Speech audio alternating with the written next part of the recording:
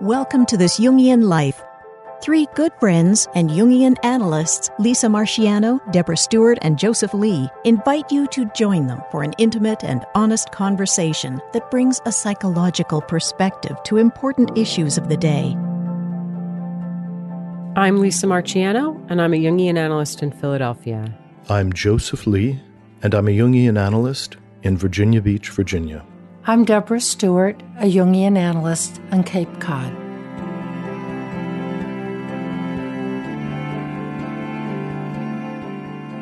We wanted to tackle the topic of secrets. It's a very rich topic.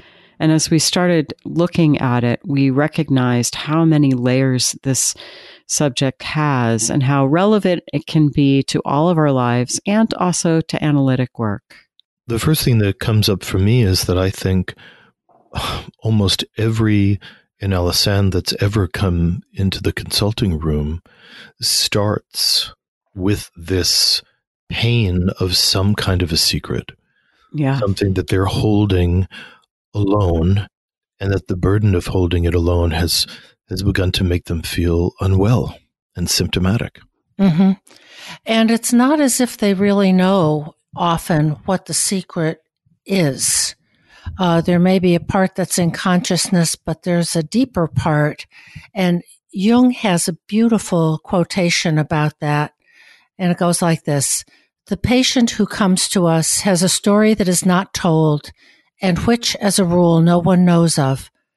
To my mind, therapy only really begins after the investigation of the wholly personal story it is the patient's secret, the rock against which he has been shattered. If I know his secret story, I have the key to the treatment. The doctor's task is to find out how to gain the knowledge. In most cases, exploration of conscious material is insufficient. So th- that's a beautiful, I think, introduction to this dual aspect of secrets. The, the part we know and are consciously protecting from anyone else's knowledge, and the unconscious part that we don't know about ourselves. Yeah, so we can have a secret from ourselves, can't we? Exactly.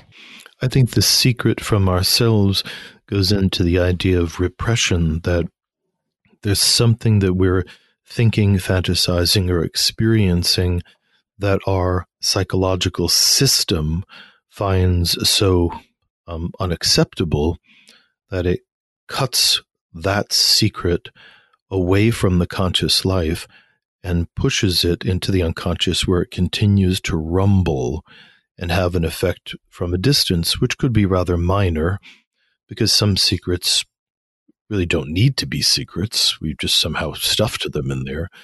But sometimes the secrets are enough to make people really, really unwell and unwell in very strange, indirect ways.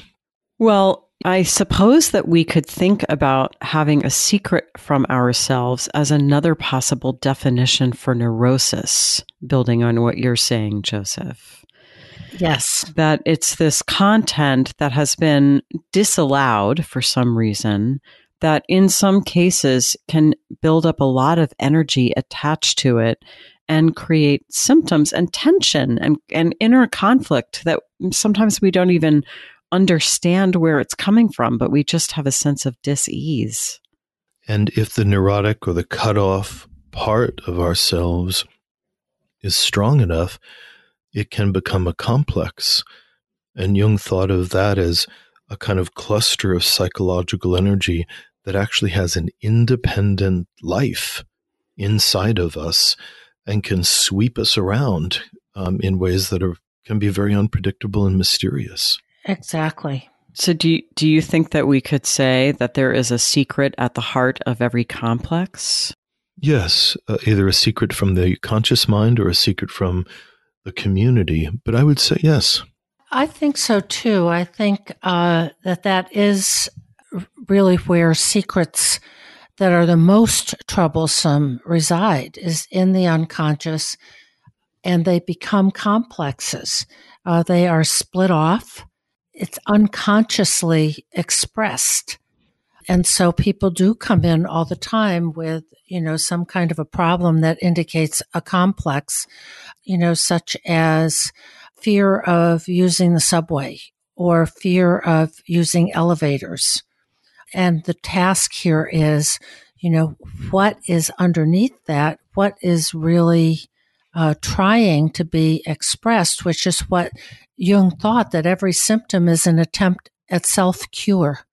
So, while we're talking about this idea of secrets being related to complexes, what comes up for me is Jung's word association test, which he pioneered in the first decade of the 20th century uh, at the Burghölzli in Zurich. And uh, the word association test consists of uh, the analyst reading a stimulus word and asking the patient to say the first word that comes into his or her mind, and that's the response word.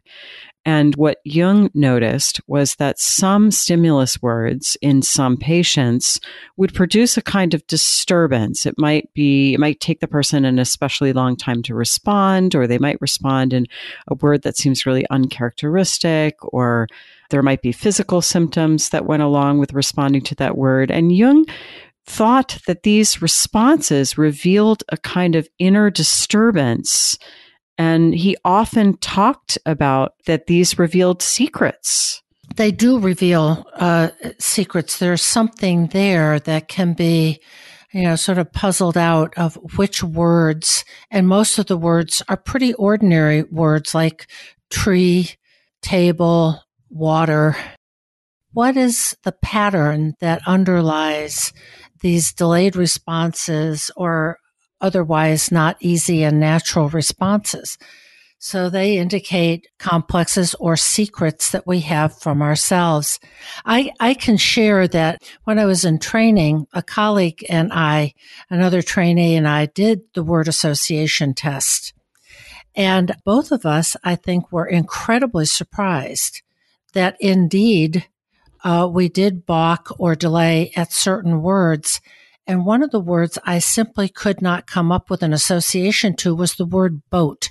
Now that seems like a pretty innocuous word. And I just could not think of any way to associate to it. You know, one could uh, think of rowboat or oars or water or a hundred things. And I took some time in analysis after that to read up on and discuss and associate to boat because I was so curious about what on earth had set me off. What I realized later on was that boats are those little fragile vessels of ego or consciousness floating upon the deep, which is the unconscious of water, especially things like the ocean. Uh, so there was a secret mm-hmm. that my secret sense of unease and fragility in exploring the unconscious deeps of the waters in my own little boat. So sometimes the the words evoke a kind of almost archetypal effect, or that they're so potent in the fantasy material that they bring forward that they can kind of stun the ego something like an existential concern, like the relative fragility of the ego in relationship to the unconscious. Many people's neurotic reactions are based on uh, lived experiences that were just particularly confusing to them. Mm-hmm. And or have to do with categories of uncomfortable memories. So Jung says that the mildest forms of this kind of splitting, secret making, could be just slips of the tongue. The idea that Freudian slips, that people just say something, they don't know how or why they blurted it out. Um, suddenly forgetting people's names or dates, uh, becoming suddenly clumsy, uh, which leads to an accident. Various misunderstandings, or what he called hallucinations of memory, where we swear that we've said something or done something or didn't, and we feel absolutely certain, or heard somebody else, we absolutely believe somebody else said something. It really didn't happen at all. But um, these split off parts can have such a stunning effect. And the one exception that he gave is when people had an enormous trauma. At that point, you know, it's 1920, 30, 40. We're getting people from the world wars, you know, are, are showing up and they're shell shocked, which is the beginning of this PTSD considerations. And he said the kinds of events or reactions that people have with shell shock wouldn't fall into the idea of the normal neurotic interference, but was something that was much more neurologic and physical. So, so this really shows um, how deep a secret can be. That it can reside in the unconscious in the form of a complex or some kind of neurotic adaptation to life. But I'm thinking of other realms too in which secrets arise. Yeah, the things that we we know but we're somehow not allowed to know. Oh, a common experience of that in the consulting room is you know, you grow up in a house where one of your parents is an alcoholic. You know, it's obvious, everyone in the family knows it, but there is this explicit or implicit declaration that no one is to know this is happening. This is an absolute secret because we would lose status or cause all kinds of problems in the community. I, am thinking too about uh, how that goes in between consciousness and unconsciousness. You know, that we may know that there's something wrong with this particular relative or parent, that every weekend there's a shift in mood and uh, erratic or peculiar or scary behavior. But A, we're not supposed to tell anybody. And also, we're not supposed to really know it ourselves as children there may be a kind of family code that says we pretend that this person is okay, or we just give this person a wide berth every weekend because he's tired or he's uh, stressed or she's stressed. So there's a place where we know and we don't know. That line is not always so clear. And I think that this example of an alcoholic family member is a classic way that family secrets show up. There often is this injunction in families not to know and not to talk about uh, an, an alcoholic problem. And it, it brings up this other issue that's related to secrets is often what goes along with having a secret like this is a deep sense of shame particularly when part of the fantasy around the secret is that if it were known, that I or the family would be shamed or ridiculed. But I think that there's a fantasy material that's going to determine whether it's a terrifying secret or a shameful secret or some some other content around it? Uh, you know, I'm thinking that there is a great example of a family secret in a book by Tara Westover. It'll be in the show notes. It's called Educated, where the family's self image of itself would also have been affected. So that is more than shame. It is a belief system and she writes very explicitly about a brother who was violently abusive uh, and many other family secrets, but it was important to this family's sense of sort of a cohesiveness and a persona that some of these abuses and erratic behavior on the part of this brother, uh, her father, and others would have shattered the family belief system its image of itself uh, that was so important to cover up an underlying fragility. In addition to, if people had known, there would have been shame and guilt from other people kind of wagging their fingers. Mm-hmm. Uh, uh, but that book is a is a terrific um, lifts up to, in a terrifically good way what family secrets can do and look like. You know, Jung said that the possession of a secret cuts a person off from his fellow human beings. And in this realm of family secrets, it's true, I think, that if we're holding a secret about an abusive family member or an alcoholic family member, there is a way that that secret creates a kind of neurotic isolation where we do not feel like we belong to the rest of humanity. Yeah, I think that the self isolation or the emotional walling off that the individual psyche does kind of changes how people move through the social environment. Um, the feeling that if someone could see me or looked at me deeply enough, that they would perceive this terrible flaw. And then we have to set up systems to make sure that we are not perceived in one way or another. Mm-hmm. And that could, that takes up so much psychic energy to have to keep up this facade and keep on hiding behind things so that our secret doesn't get revealed. It it it really takes up a lot of our energy that could otherwise be used for life. It's a high price to pay. Yeah, that Jung talks about it as a, a kind of psychic poison, that it works through the system in a way that makes us really feel sick. And I think we probably have had all this experience, even if we were just children, that, you know, maybe we've uh, done an infraction or we broke something in the house. We're six years old. And then all of a sudden, one of the parents are walking in, Who did this? and you can see these hilarious YouTube videos of, you know, like there's a kid there with a Sharpie and then their infant sibling is next to them with Sharpie all over their face, you know, and the mother's like, Who did this? And the kid's just standing there with the Sharpie going, No, no, I am no. That's where so, it really helps to have a sibling in situations like that. but this instinct to keep secrets, I mean, you can see this in in little toddlers. Mm-hmm. Yeah. Mm-hmm. It tells us there's something archetypal about this. On the other hand, I'm thinking uh, about Jung's secret when he was a child. Uh, he had a little matchbox and a little mannequin figure that he had made, and he hid it uh, way up on a beam in the attic, if I'm remembering this accurately.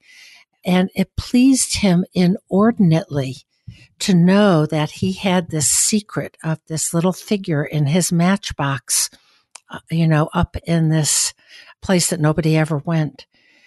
And it can help us, it can help us differentiate and have a private, special thing that we keep to ourselves. Yeah, I mean, I think as we were saying a minute ago, we often keep things that are shameful or frightening secret.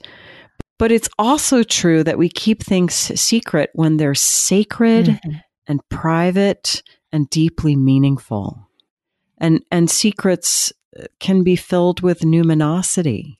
Uh, so this is a really bivalent concept here, and the sense of his own selfhood that this little mannequin in a matchbox gave Jung is something that I think kids and especially teenagers also experience it may be something sort of contraband, like, you know, some kind of reading material, let's say, you know, that the teenager hides uh, under his mattress.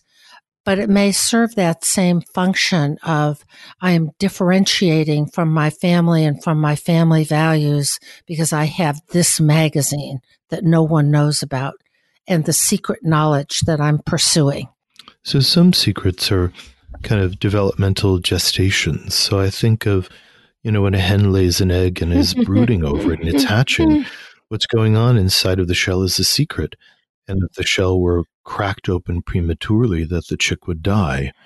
I remember being in um, kindergarten and we would plant lima beans in our old milk cartons and we'd put them in the windowsill and watch them emerge. I remember on more than one occasion being impatient and and digging down in the soil to kind of see what was going on and of course the plant would die. So i mean there's a secret going on under the soil which is both compelling but essential in order for something to emerge. So it can be very important for us to have secrets and to keep them. And jung in fact says man needs to have secrets and I, am thinking about back to this idea about people coming into treatment with a secret, how those secrets are often both things that are very shameful that they've never told anyone, but also hold this very secret, private, sacred truth. So, and what an honor it is to be entrusted with such a thing when someone comes in to analysis. And Jung says something about secrets having uh, an aspect of the confessional that you can tell your secrets in this safe place and be vulnerable, not be shamed, and that it creates uh, a new pathway for bonding with the therapist or analyst. And then the analytic consulting room is also a secret. Uh, this, the client's secret is contained within a secret that uh, cannot be revealed. The analyst is bound to respect uh, his patient's confidentiality. Some analysts' offices are even arranged that way, where there's one door where analysts walk in, and then there's a door in the back of the office where they leave by a different hallway. So even the fact that they are seeing the analyst is kept secret, which many people f- feel that they do need. The fact mm-hmm. that they're in treatment seems to be an important secret for them. Well, and part of that is perceived stigma about receiving mental health treatment, but it also is something more, I think, sometimes. I remember uh, being in training, and, and some of us would not want to reveal with whom we were in analysis which at first struck me as odd, but I have come to understand and appreciate that, that there's something, there can be something so sacred about the relationship that it really feels like you want to protect it and keep it secret and not make it a topic of sort of everyday chit chat. See, that's so important. And I think uh, the early analysts were very clear that what's talked about in the analysis is should never be discussed outside of the analysis. And they were thinking about it as a need to keep the emotional intensity alive around what is being worked through in order to facilitate any change in one's character. So, if we think about one of the reasons that we tell our secrets to even a best friend, is that there's so much intensity inside of ourselves that we want to kind of vent the kettle by um, speaking it to someone else. And in social work, they call it affective ventilation because attention is relieved in the body and the psyche, and then people can kind of return to what they consider their normal or homeostatic way of functioning. And that's fine if it's a toxic secret, but some secrets have the capacity to transform us, and agreeing to keep them private facilitates that change. This relates very much, um, you know, to the concept uh, of the temenos, the sacred circle or the sacred precinct, uh, like like a temple or a walled garden of some sort of special protected place where a secret can be shared and transformed. On the other hand, uh, sometimes uh, we can tell somebody something else in in a sort of confessional spirit, and it's just a palliative. You know that I did this, you know, supposedly illicit behavior again this week, and I can tell this person, and uh, oh, what a relief! But then a week or two later, the same thing comes up, and it's not transformative. So I think that confessional and sharing aspect has two sides as well.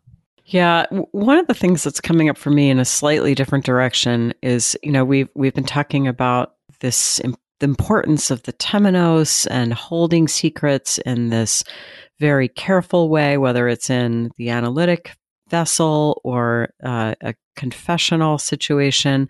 I'm aware that I think we're having a cultural shift in how we feel about secrets because it seems like, and I, I realize I'm going to sound like an old person here, but it's, oh, it seems like, if I may, uh, younger generations just feel an almost compulsivity about sharing often highly sensitive personal things on social media. So this sense of temenos, I think, is getting eroded a little bit. Is that fair to say? Absolutely. I think that living in a culture where there are no secrets, and by secrets we may just say privacy, you know, common privacy, has led to an epidemic of anxiety. Mm-hmm. I think that a lot of young people raised in this world where everything is known by everyone are finding it hard to leave home, are finding that they're over reliant on the parents and other systems to mediate the anxiety that they feel as they're interacting with the environment later in life. Well, I'm thinking about secrets or privacy that we may we want to hold for ourselves and we can't because all of these algorithms on various social media sites and uh, consumer purchasing sites are being shared without our knowledge uh, everywhere. Yeah, so it makes it harder for us to hold on to this kind of individual identity that a secret can give us. That we are the only one who knows our preferences, say. But in fact, Deb, as you point out, that might not be true. You know, some algorithm might have figured out what our heart's desire is. Oh, every time I uh, you know, go on Amazon, they pop up all the things that they think based on my past interests I might be interested in. But I'm also thinking about what social media can do for people who post things on all of those kinds of sites of that those sites encourage us to present our persona you know, the things we're creating, the wonderful places we've gone, a smiling, happy family, and all of that kind of thing, and thus separate ourselves from ourselves. Uh, it's a temptation to become identified with persona and uh, kind of repress or uh, create secrets that we don't want people to know about because of the pressure to present ourselves as healthy and happy and competent and successful. It really creates a split, I think, in a lot of people's psyches. I think that's right on, Deb. I think the whole idea of envy posting, where people are just generating idealized images of themselves in the hope that they will both be envied and validated, and secretly feel very isolated, very unacknowledged, and very unseen in ways that are much more human and authentic. Yeah, shadow is very, very much denied. Uh, and we know, you know, just as you were saying earlier, Lisa, that those things that we deny, repress, shut away still take energy that keeps us from living as full and enlivened a life uh, as we might. I want to shift for a second and talk about secrets and dreams because I think that there is always a secret at the heart of a dream, right? I mean, mm. dreams are always a communication from the unconscious for the conscious mind to read and always include information that the conscious mind wasn't aware of before. And, uh, you know, in fact, Jung said at one point, he said that dream analysis.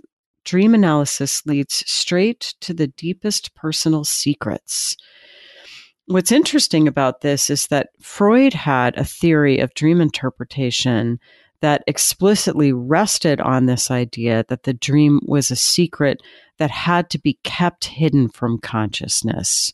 Whereas Jung felt that the dream was conveying a secret that the unconscious was trying to communicate. Yeah, I think that that's quite right. I often feel that in a course of analysis, when the ego, my ego and the client's ego, are kind of consulting with each other about what the priority is or what the area of work is going to be, that it can often feel very, I don't know, misdirected or dry. And it's only when dreams begin to be presented in the analysis that we often discover what the deeper priority is, which can sometimes be radically different from the reason that people thought they were initially coming in for treatment. Absolutely. And Jung is very clear about, in most cases, analysis of conscious material alone is insufficient. And that's why unconscious material, which is what we encounter in dreams, is so extremely important to understand. Yeah, so dreams can help us learn the secrets that we've been keeping from ourselves. Mm-hmm and the timing of the revelation of secrets. So somebody may come in with a substantial wound, perhaps something really terrible happened in their childhood, which when they think about it is truly traumatic. but the dreams may suggest that there are 20 or 30 or 40 smaller secrets that are more titrated, that need to be discussed in order to create a kind of ground initially, which can then contain something that is much more traumatic. I'd also like to make a return just briefly to something that um, I think, Lisa, you had mentioned earlier the idea that religious and spiritual experiences and ideas uh, may need to be kept secret. That the ancient rites of initiation, or even the modern rites of initiation in organizations such as Freemasonry, they still maintain the value of certain secrets. And part of the thinking around that is that maintaining a secret by choice allows it to retain its numinous power. Mm-hmm. And one of the things that I think is a shame is that many, perhaps even all secrets, have been secularized uh, on the web and when something is secularized, its emotional and religious intensity flattens out and it just becomes another kind of object or product for the ego to kind of toss around in different ways. And in that regard, it loses its transformational potential.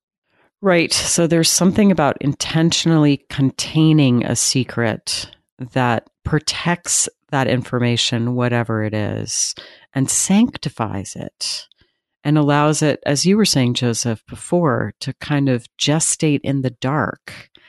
You know, I'm thinking of this fairy tale called The Boy Who Could Keep a Secret. And it's a lovely, long fairy tale from one of the Andrew Lang uh, fairy tale books. I can't remember which now, which one right now, but um, it starts off with some really curious imagery. A boy, a little boy, has a scabbard that grows as he grows, and one day uh, that he finds a sword. And he has to wait for the sword to be big enough to fit into the scabbard. And then one day it is. And he slips it in and out and it slips in really easily. Now, this is some really interesting imagery, hmm. but hmm. anything hmm. Freudian coming to mind? my, yeah, my Freudian, uh, my Freudian think hat is vibrating. Mm, I bet is that the only thing that's vibrating? that's it. That's it right now. At least that's all I'm willing to talk about. okay. Uh, but but he's so pleased with this. He's determined not to let his mother know about it because his mother could not keep secrets. But she could still tell that something was up. So she asked him what was going on, and he uh, he says, "Oh, well, I had such a nice dream last night, but I can't tell it to anybody." And so she beats him because he won't tell her his dream.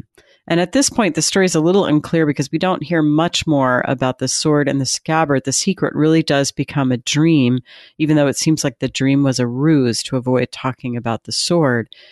In any case, the story has all of these permutations where all these different people want to get the secret out of the boy, but he never tells anyone the secret. He says, I, I can't tell anyone the dream until it comes true. And uh, it, it seems to me that it's partly a dream about childhood abuse because his mother's beating him. And that is what sort of sets him on the road because a king comes along, asks why he's crying. And when he says his, his mother was beating him because he wouldn't tell her his dream, the king says, Well, come and live with me. And there's all these adventures that he has. And finally, at the end, he becomes the king of I think the king of Hungary is what happens. And he says, um, he goes back at the very end to see his mother. And he says, Now, dear mother, you shall hear my secret at last. I dreamed that I should become king of Hungary, and my dream has come true. When I was a child and you begged me to tell you, I had to keep silence. And if you had not beaten me, nothing would have happened that has happened, and I should not now be king of Hungary. So, part of what I get from this fairy tale is this importance of keeping the secret and allowing it to gestate in the dark. And sometimes when we're in a situation where we're being abused or we're experiencing some kind of oppression or difficulty, the secret is even more important because it's like that part of our psyche that is secreted away where it can be protected and these dreams of overcoming the situation can continue to take form in the dark. I think that that's a, a wonderful male initiation story, um, all joking aside. So he starts with his childhood and his sword is growing, which I think is an obvious phallic symbol. And then he goes through all of these kind of initiatic processes. And in the end, you know, he is able to step into the king archetype and the secret of his true emerging masculine nature can be spoken to the mother. Mm-hmm. And I think about particularly for boys, boys deal with puberty, I think, very differently from girls. That as a boy begins to enter into puberty and his body changes, boys move into a state of tremendous secrecy. They do not want to talk about changes in their body or uh, the fact that they're masturbating or or whether or not they have pubic hair.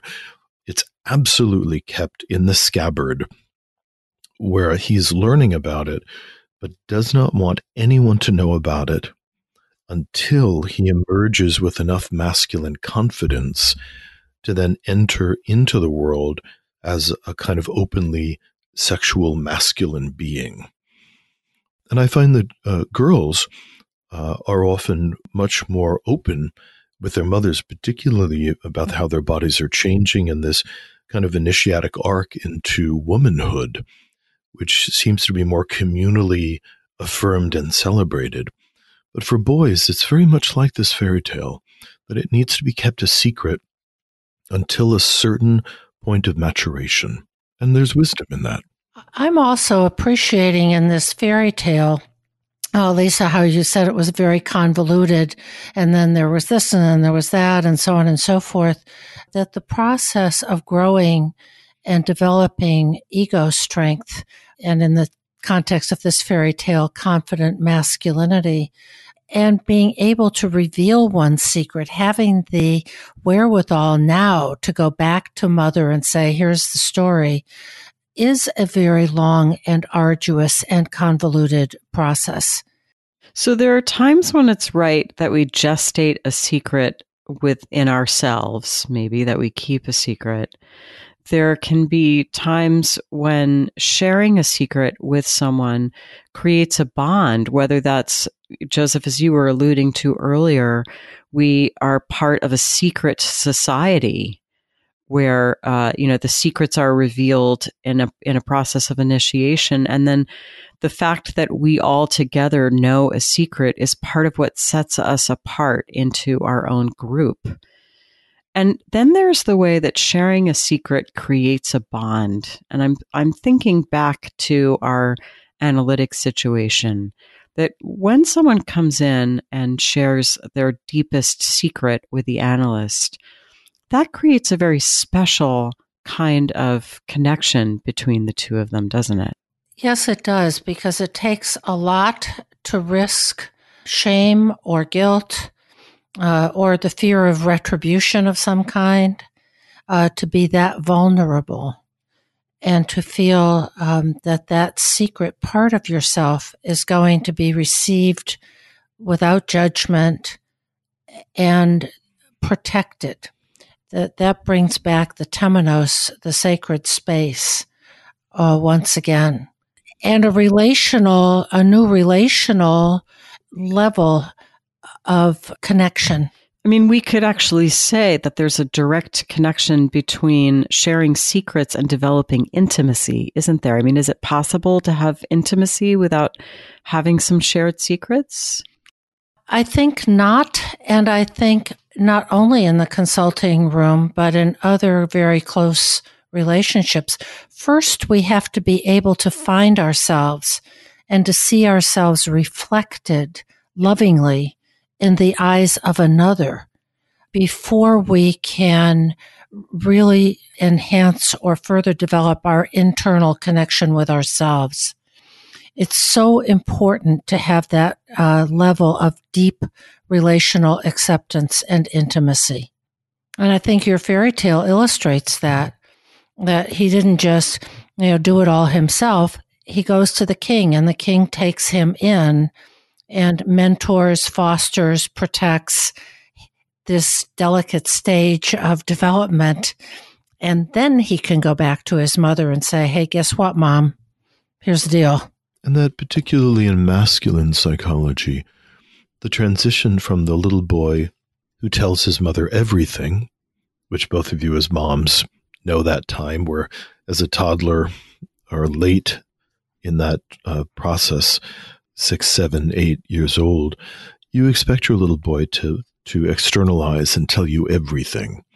And it's an enormous developmental time for a boy to decide that or to discover that keeping the mother outside of his psyche has to happen in order for him to become mature and to leave the house of the mother, which Jung wrote extensively about. That the mother complex in a man's psyche can uh, thwart him endlessly. I'm going back to the idea of disclosures kind of leading to intimacy. And it does lead to intimacy, but also there's a difficulty around discerning with some foresight how one's psyche will respond to certain disclosures. I've certainly seen people who came from very complicated childhood situations that develop what I would call promiscuous trust. Hmm. And they find themselves oversharing materials that should be kept secret or an inability to discern what an appropriately contained relationship would actually look look like or feel like and then by violating their own internal world of secrets and treasures and suffering that they create a kind of storm in their own bodies and psyches. And and that's another very complicated phenomena i think yeah, that's really interesting, Joseph. I think that's true. There's so there's some wisdom or discernment that goes along with knowing when to keep a secret and when to divulge it. I just want to turn and touch very briefly on secrets uh, much more in the extroverted or external world and how we keep secrets sometimes to protect people. Mm. You know, of course, I'm thinking about people that have been hidden away, the Underground Railroad, where people secreted slaves away in the basements of churches or homes, people who hid Jews during the Nazi years in Germany. And I'm also just touching briefly on uh, how there are cultural norms about what is secret and what isn't, and that that can be very much sort of societally determined. So that's just a, a couple of very quick hits on those two areas. Yeah, the, those are important. Perhaps I could just finish with another quote from Jung about secrets. He says, It is not we who have secrets, it is the real secrets that have us. Mm-hmm. And with that, we'll switch to a dream.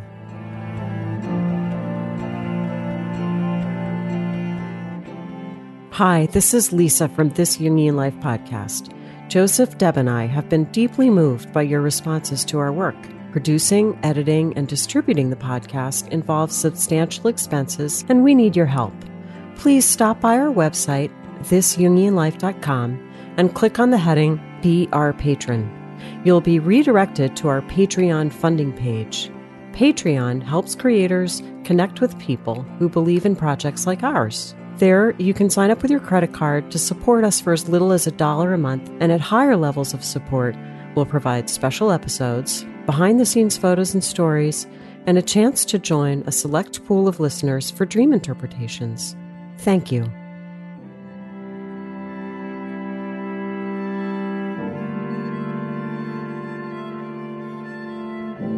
Okay, this week's uh, dreamer is a woman who is 45 years old and she is a professor.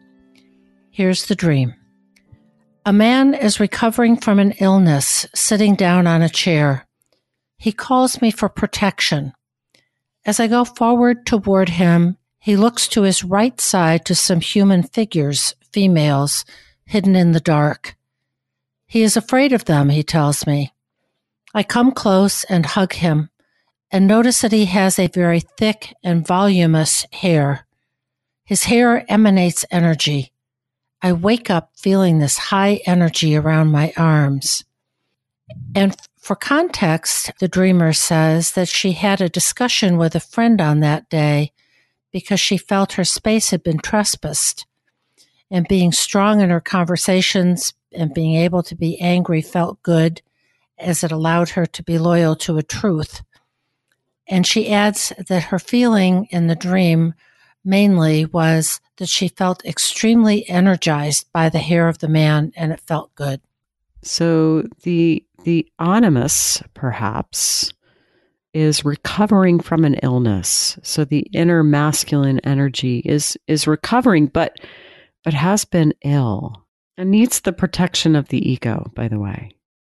So it's a really very interesting uh, initial situation of the interaction between this man recovering from an illness, calling on the ego, reaching out, the animus reaching out to the dream ego for protection. So we already have a dialogue starting. And I think it relates very much to um, the interaction that she says she had with the friend and being loyal to her truth and being able to confront the friend, even if angrily, uh, had something is a kind of parallel to this initial situation. Yes, so we might imagine perhaps that she's f- finding her uh, kind of assertiveness. The assertiveness might be related to the animus, perhaps and the animus recovering from this illness, perhaps the illness relates to a kind of passivity. And now the recovery has to do with perhaps assertiveness. I find this dream very mysterious on a certain level. I'm listening to what you guys are saying, but I'm really steeping in it quietly. You guys keep going. I'll chime in. okay. I'm in a real reverie right now. okay. Uh, well, I'm thinking then about where the dream uh, goes next. Uh, that the dream ego, our dreamer, goes toward the man and he looks to his right side to some hidden female figures that are hidden in the dark. And he's afraid of them and tells the dream ego so he has called on the dream ego for protection, and now here's the thing he wants to be protected from. Yeah, and that's so interesting, right? I wonder what about those female figures? We don't really know anything about them. No, and they're hidden in the dark. Yeah, so it's definitely something quite unconscious, and and uh, and perhaps, I mean, if we were going to go with the sort of classical formula, we might wonder about shadow contents. Yeah, there is a, a, some kind of a split between male and female imagery in this dream. Uh, because our dreamer and dream ego is feminine, there's the man, and then there's a deeper level of of the feminine for for the inner male figure. So there's some split here, but the dream ego comes close and hugs him and does afford the protection, for, in other words, for which he has asked. And then we get this imagery about the hair. Yes. I'm thinking about this thick and uh, voluminous hair that emanates energy. And of course, I'm thinking about what is hair? I immediately thought about the story of Samson and Delilah, where his hair gave him power and strength, and when it was cut, uh, he became weak. Hair comes out of the head, where we, you know, think and uh, plan and kind of manage our lives. So th- there's a huge energy association with hair. I think that um, for Robert Bly in his book Iron John, that he looks at hairiness and hair as a symbol that is, again, particularly masculine. And that the modern strain for men to become hairless, to shave all their body hair or shave most of their head hair, he, he finds as a kind of assault against the masculine spirit. So even though this male figure appears to be recovering from an illness, there's something that is essentially masculine, that is instinctive and connected really to his body, because the body generates hair, that still has energy, that is still vibrant, even though he is sick with fear. So to me, the illness is is really about fear. Mm. He's sick with fear about these mysterious, perhaps female figures that are hidden in the dark that neither she nor he can perceive. One of the things that um, I'm thinking about also relative to Jung's work, he said that complexes can develop such an astoundingly independent consciousness that they can generate their own fantasy material that needs to be examined by the analyst and the ego. So I think we have an example here of a, a complex that has its own set of fears that are making it it unwell. Mm-hmm. Yeah, it does. This figure does have a, a, real sense of autonomy to him, doesn't he? Mm-hmm. So the inner masculine can represent all kind of things, um, and we wish she was here to ask. But yes, it could be the animus that her own inner masculine is somehow filled with fear, and particularly fear of the feminine. So one way that I could imagine that in a lived life, and our um, dreamer is a professor and therefore a researcher, that if the animus represents her own creative dynamism, that is fearful of how the feminine will receive it. And I think about my friends that work as professors and the tremendous amount of anxiety about bringing forth some of their treasured resources because it will be mistreated by their community or invalidated, and how paralyzing that can be to one's creativity. So I'm having just a little bit of fantasy about how this might be living in her life and for the ego to feel that she can protect her own creative potential from this perhaps dangerous or negative feminine. You know, that feels very encouraging. And for her to be able to acknowledge that this creative potential still has power and strength in it in the symbolism of the hair. I think all of that points to the beginning of a kind of creative process, but there still is a mystery about the dark side of her own femininity and how that might be paralyzing her spirit. That's a reference to the human figures, the females that are hidden in the dark from her animus. Yes, he's afraid of the female figures hidden in the dark.